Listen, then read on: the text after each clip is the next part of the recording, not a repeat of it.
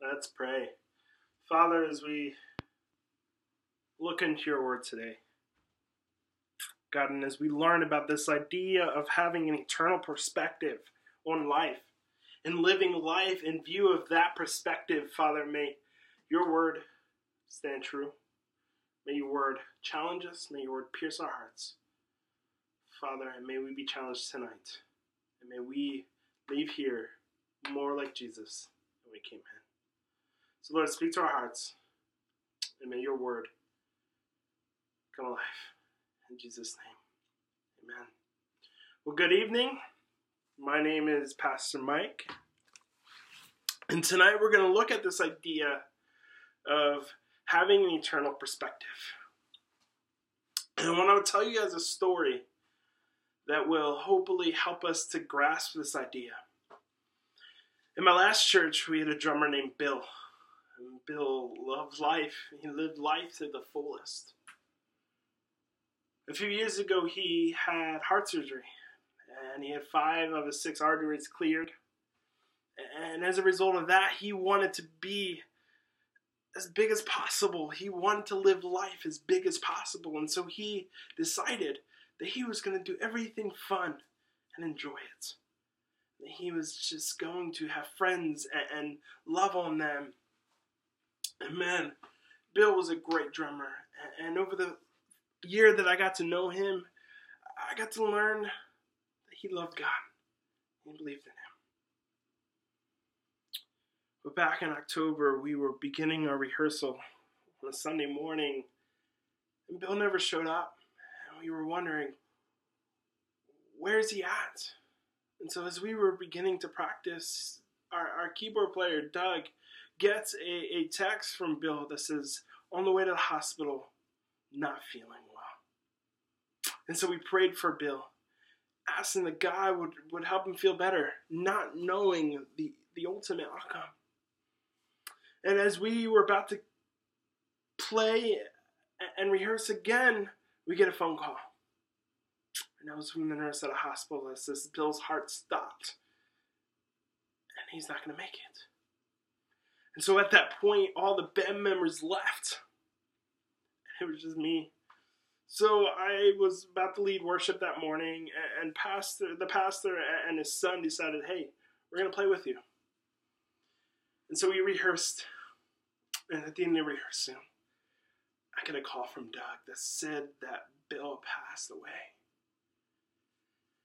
And I was uh, planning this sermon this week, that idea and his story just came to my mind. A man that lived life to the fullest. And at any point, life can end as we know it. And so, knowing that life is temporary, we're all faced with the question how do we live life in view of that? And if there's an idea that I want to get across that I want you to know is this is that we can live life with an eternal perspective by doing good, enjoying life, and fearing God. Let me say that again. We can live life with an eternal perspective by doing good, enjoying life, and fearing God. And so many of you guys are questioning what is this eternal perspective? What are you talking about? Well, as we get started this morning, open up to Ecclesiastes chapter 3. And I'll give you a little time to get there. I'm reading from the New Living's Translation, the NLT, this morning. And before we get started, I wanted to just catch you up on the first couple chapters of this uh, of, of this book. See, many scholars are debating on who wrote it. Was it just some random person, or, or was there a, a, a, strong leader that wrote it? And many scholars also agree that that this teacher, that this writer, was Solomon. He was the son of King David. And he starts the book off talking about how everything is meaningless. Everything is vanity under the sun. And that no matter what we do, it's vanity. And he starts chapter 3 talking about this idea that there is a time for everything. There's a time to die and a time to live, a time to mourn and a time to be happy, a, time to kill, and a time to heal. And so we had this view that that there was a time for everything. That we just live in a world just of time. And starting in verse 9, we're going to start off with it. And it says this it says, Well, what do people really get for all their hard work? I've seen the burden God has placed on us all. Yet God has made everything beautiful for its own time. He's planted eternity in the human heart. But even so, people cannot see the whole scope of God's work from beginning to end. So I concluded there is nothing better than to be happy and enjoy ourselves as long as we can. And people should eat and drink and enjoy the fruits of their labor, for these are gifts from God. And to know that whatever God does is final. Nothing can be added to it or, t- or taken from it. God's purpose is that people should fear Him. What is happening now has happened before.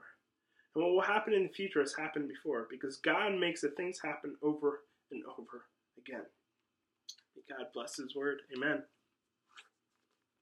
So we're all left with this question well, what do we do? And in verse 9, that question comes up. Well, then what do we get for all of our hard labor and all of our hard work? And what is it that we strive for? Why are we working? If a time is for everything, do we get something in return for it? And the first thing we see is that God is the ultimate one that gives us everything. That everything that we own is given by God. And a part of that idea is that in verse 11 it says this it says, Yet God has made everything beautiful for its time, He has planted eternity in the human heart. And the question that comes up is, well, what is this eternity? What is God placing in our heart? Well, the the crux of the matter, the, the pinpoint of this is that eternity means that, that there's something bigger than ourselves. That we're fighting, that we're striving for something bigger. And we're hungry for something that's outside of ourselves. And this eternity they were talking about is this idea that God lives forever. And that we are striving for what lies ahead and what's after our life. We long for something greater than ourselves. And James MacDonald, the pastor of Vertical Church, says this The universal longing at the core of every human heart is for eternity. We yearn for something lasting, even as we hustle through busy days filled with families and jobs, and traffic and hobbies and entertainment and rest. There's a whisper in the back of our minds that pulls us towards something deeper and infinitely more significant and that comes from his devotional or, or his study guide called Vertical Church. And it's this idea that we are meant to focus vertically on the ultimate creator of everything, the one that has created everything beautiful in his time. And the question that we have is this Are you living out that perspective? If we are striving for something bigger than ourselves, and Solomon's saying, and he answers this not in a direct way, but he says, Your work is because there's something bigger. So, first, he's addressing this idea of what are they working for? That they're striving for something bigger and something better. And so, that is why we get this idea as we go forward that we can live life with an eternal perspective by doing good, loving life, and fearing God. And we're going to see that in this passage. That that's what Solomon is getting at. That in view of this perspective, let's live life. Let's do good. And so we have this idea starting in verse 12. In the NLT, it says, So I concluded there's nothing better than to be happy and enjoy ourselves as long as we can. But in the NIV and in the ESV, it says basically this idea of doing good. This idea that, in light of this perspective, knowing that time is valuable, knowing that we are striving for something bigger than ourselves, the best thing that we can do is do good. And in Galatians 6 9, Paul says this, and let us not grow weary of doing good, for in due season we will reap if we do not give up. And so the reward essentially uh, uh, of working hard, that when we do good, eventually we are going to reap what we sow if we don't give up and we continue to do good. See, doing good is something that's going to benefit humanity, it's going to benefit the world, and ultimately it's going to worship God. But so many of us don't live that out in our lives we are so focused on, on serving ourselves that we forget that there's others that we need to do good to, that we need to love and cherish. And Gandhi, a great influencer of his time, said this I like your Christ. I do not like your Christians. Your Christians are so unlike your Christ. What is he saying there? What does he mean? Well, he means that Jesus' life was spent doing good that his life was spent focusing on things that have an eternal perspective. His life was so focused on bringing heaven to earth that all he focused on was blessing people and serving them and healing the sick and the blind and just loving life. And the question I have for you this morning is how are you living out this perspective and the good that you do? Are you living in an eternal perspective by doing good? And are you doing good? And what does that look like? And so we get this idea that we can live life with an eternal perspective by doing good. But the question is, does it stop there? Do we stop at just doing good, or is there more to life than just doing good? And Solomon continues in his passage in 13, and he says this And people should eat and drink and enjoy the fruits of their labor for there are gifts from God. The second thing we do with as we live this life with an eternal perspective is that we can love life and we can be content with what we have. And Solomon is saying that that should be our ultimate goal. That instead of worrying about gaining something, we should love and be thankful for what we have. Solomon challenged his readers and his listeners to enjoy it and be thankful. And this idea of living life and loving it really hit me a few years ago. In my first church that I served in in New Jersey, I had a chance of going on a mission trip with the church. And we went to the Dominican Republic. And we always have this mindset that when we go somewhere, we go on a mission trip, we are going to to challenge them, to, to invest into them and, and to and to make their life better. But boy, was I wrong. Was I about to get a wake up? So we're going there, and, the first day we go to our compound, and the next day we go out. And as we're going, we meet people who are living in metal shacks. Literally, their shacks were the smaller than even my bedroom. They're smaller than my kitchen, my dining room. These shacks were were were small and, inside some of them had six to ten people. But you would think that they would be unhappy and you would think that they would desire something bigger. But the more we got to talk to them, what they said was this that, yeah, we don't have the money that you guys have. But we don't need that. We're content with what we got. Because nothing is worth more than knowing Jesus Christ. And so they were happy of just having themselves, their family, the things that they have. And ultimately, they were happy with Jesus Christ.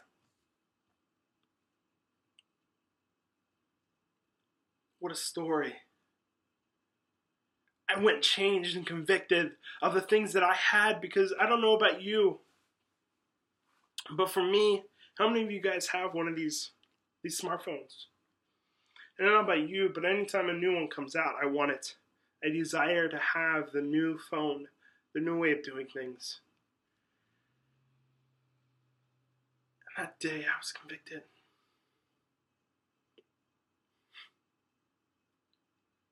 Because life is more than just these. Life is more than having all the money in the world. Because what I've seen and what Solomon says in the first two chapters, and, and you can read this book because it's it's filled with wisdom.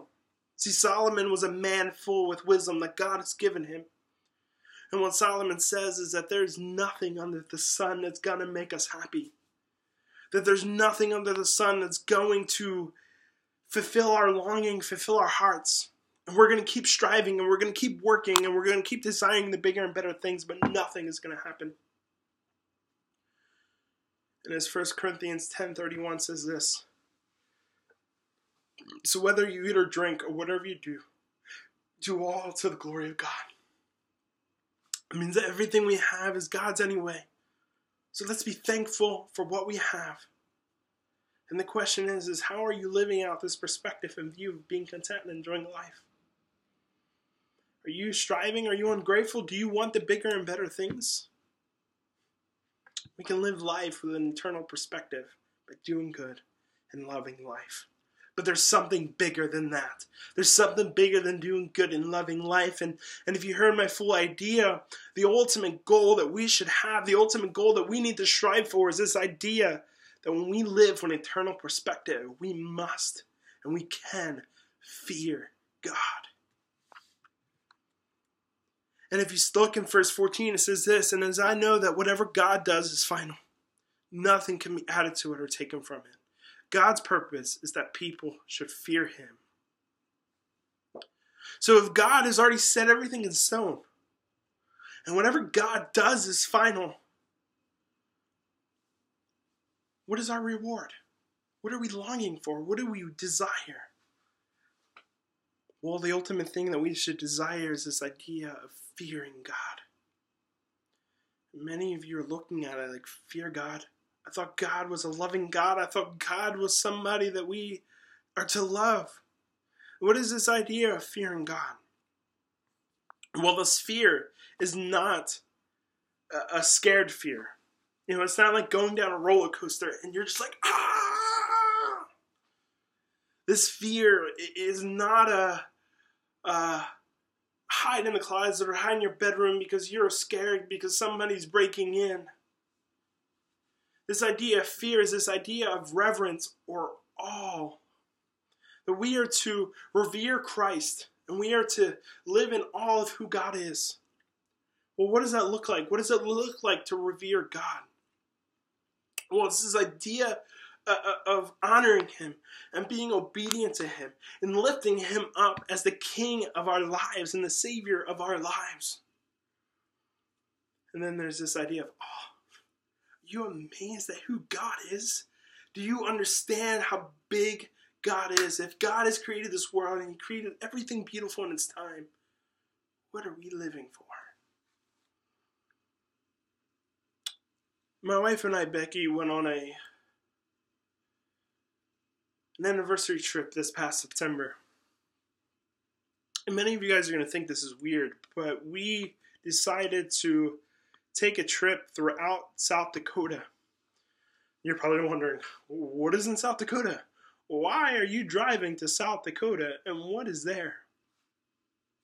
Well, I can tell you that if you truly want a different perspective of who God is, and you want to fear God and you want to strengthen that and you want to revere Him and you want to live in awe of who He is, take a trip to South Dakota.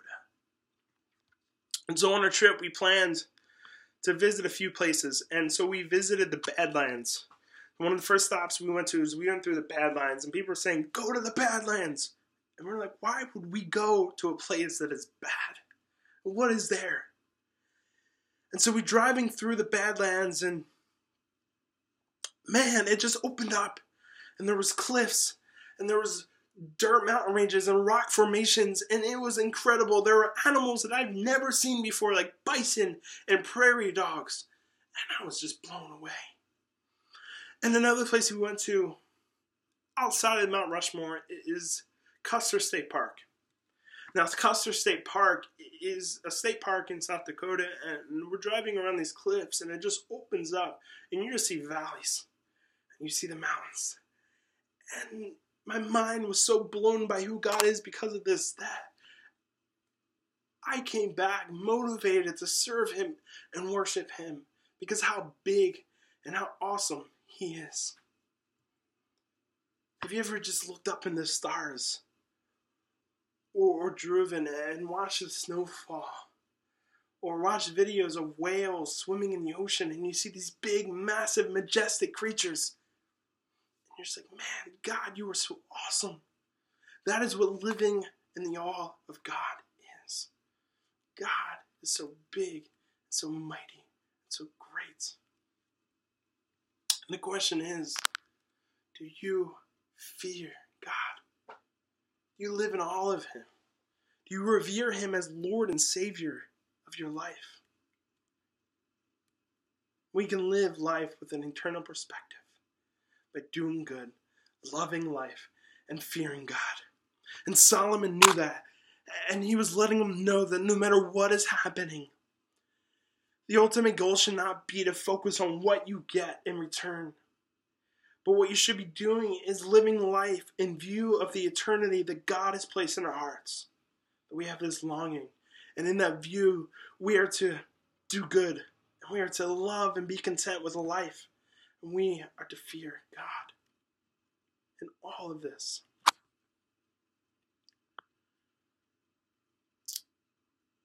However, the question is what does this look like in our lives? What does it look like in my life? What does it look like in your life? See, most of us go through life trying to fulfill a longing in our hearts. That's why we see people to try that fill their broken hearts with something like drugs or alcohol or unhealthy relationships or, or sex, or they fill in with friends, or, or they just like to buy things because they have a longing that's so bigger than who they are.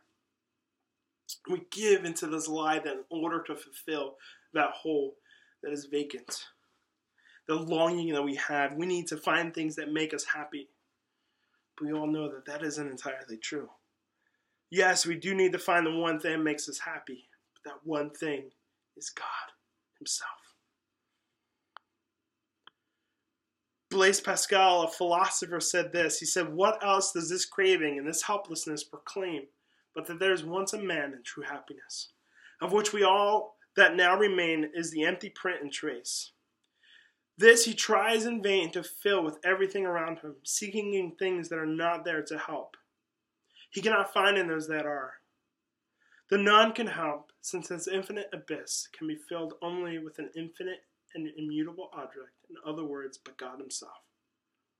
So, what he's saying is that there's a God shaped vacuum in our hearts that people try to fill, but the only thing that can fill it is God Himself.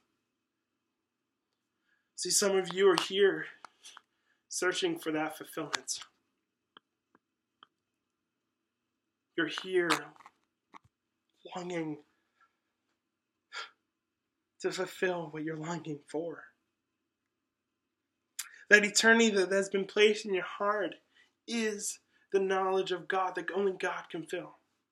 We all have that knowledge. The question is do you desire to unlock the full potential of eternity? We know that there's something out there. We thought of other things, but the Bible says in John 14, 6 that Jesus is the only way, the truth, and the life. And Jesus says in John 5 24, Truly, truly, I say to you, whoever hears my word and believes in him who sent me has eternal life. He has not come into judgment, but has passed from death to life. This longing that you have in your heart is ultimately a longing to be in the community of God, to be in a relationship with Jesus Christ Himself. See, Jesus Christ came and He died for you on the cross and rose again so that you can fully have this eternal life and live in that eternal perspective. The question is do you want to live a life with a fulfillment that goes deeper than anything else you've ever tried before? Are you ready to give Christ a chance on fulfilling that longing? Do you wait? Don't wait any longer, but fulfill that longing with the only one that can, and that's Jesus Christ. See, the Bible says in John, 1 John 1 9, if we confess our sins, he is faithful and just to forgive us. And Romans 10 13 says, if we believe that Jesus Christ is Lord and Savior, we will be saved. So call on the name of the Lord. It's so easy. The Bible says, confess and believe that Jesus Christ died, that he rose again for your sins, so that you can have eternal life. The Bible says that if you believe that, you will have life and have it too abundantly. But if you already know Jesus and you already already believed, if you've already been captured by the grace of God and received the salvation He's offered, you've already passed from death to life. You've already received eternal life and you're living in the reality of eternity. But the question is, is how are you living in view of that eternity? How are you living in view of what God has placed in our hearts? See, we learned today that we can live with an eternal perspective by doing good, loving life, and fearing God. The question is, is how are you doing good? How are you living out life? See, there's many things that we can do. We can love our neighbor. A great way of doing good in Mark 12 31, Jesus says in the great commandment to love your neighbor as yourself. And so, are you living in view of that? Are you loving your neighbor? That's a way of doing good. Another way we can do good is using our gifts. Are you utilizing what you have to bless others? Are you passionate about that? Are you involved here at this church? Or if you are visiting and you're a member of another church, are you being challenged by that? Are you living out that life in that perspective? How are you doing good? Or another way we can do is we can sacrifice ourselves. The Bible says in Romans 12:1, I appeal to you, brethren, by the mercies of God, to be a living sacrifice. Are you giving of your time, of your energy, of your money? Are you giving of yourself so that you can help somebody else? Are you loving life? In Matthew 6, the Bible talks about don't worry about what you're going to eat or what you're going to drink, but focus on seeking God. Are you being appreciative of what you have? Are you content with who you are? Are you answering this question of is it possible to love God with the little things in your life? Not having a desire for extreme larger things. Reevaluate your life and be challenged. Are you living in the moment of being content and loving life? And finally, do you fear God? Do you find amazement in who He is and what He has done? Do you revere Him as King and Lord of your life? The greatest example that we have is Jesus Christ himself, and he spent his whole life doing good. All throughout Scripture, we see of his healing, of his feeding the homeless, blessing the less needy, investing in the those that feel outcasted.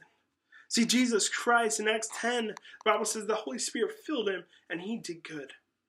He spent his life speaking about being content and he willfully obeyed God along the way. Philippians says that he obeyed God and he feared God to the point of dying on a cross. So he didn't consider himself as God, but he declared himself and he humbled himself and died on the cross for our sins. The Bible says in Romans 3.23, it says, For the wages of sin is death, but the gift of God is eternal life in Jesus Christ the Lord.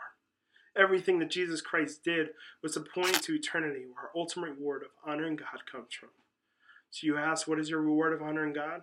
It's eternal life in His presence. Paul says, No one can lay a foundation other than that which is laid, which is Jesus Christ. Now, if anyone builds on the foundation with gold, silver, precious stone, wood, haul, stray, each one's work will become manifest. For the day will disclose it, because it will be revealed by fire, and the fire will test what sort of work each one has done. If the work that anyone has has built on the foundation survives, he will receive his reward. This is coming from 1 Corinthians.